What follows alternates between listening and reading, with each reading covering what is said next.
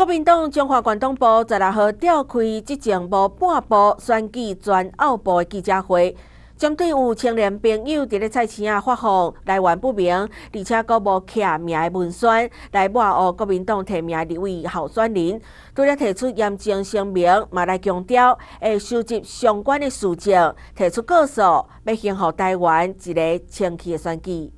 国民党中华关东部召开记者会，就因为这段时间不断有党提名的候选人被对手抹黑，不实的文宣品拢是假假糊糊的发送。时代，因咧甲我讲，伊讲你一定爱出来讲，因拢寄单仔来厝的，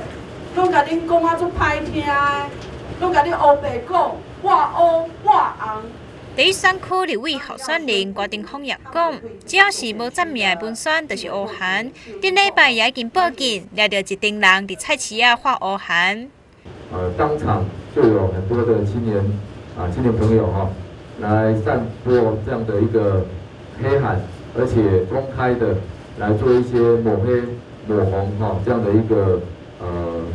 动作了哈。那目前这个案子哈，也在我们警方啊在侦查当中。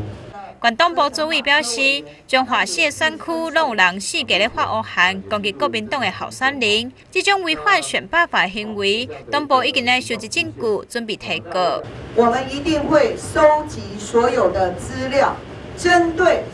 一些污蔑、一些抹黑、一些不正常的手段，会影响到。选举的结果的，我们都会跟律师商量，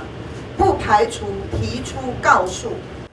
中华广东部强调，这届总统甲立委选举关系到台湾未来发展甲人民生活，对手无提出证件，只有各种抹黑的手段，根本就是咧伤害台湾的民主。